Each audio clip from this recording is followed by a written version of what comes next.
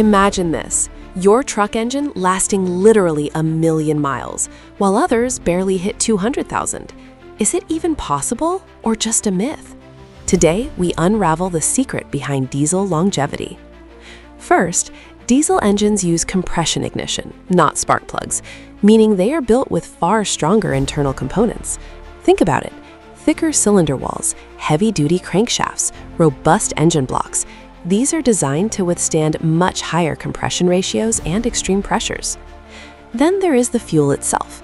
Diesel fuel is a heavier, oilier substance. This property acts as a natural lubricant for engine parts, reducing friction and wear with every piston stroke. Super smart, right? Also, diesel engines typically operate at lower RPMs than gasoline engines. Less revolutions per minute means less stress and less heat buildup. Of course, proper maintenance is always key for any engine, but combining robust design, natural lubrication, and lower operating stress, diesel engines truly are endurance champions. Like the video, comment your thoughts, and subscribe for more amazing content.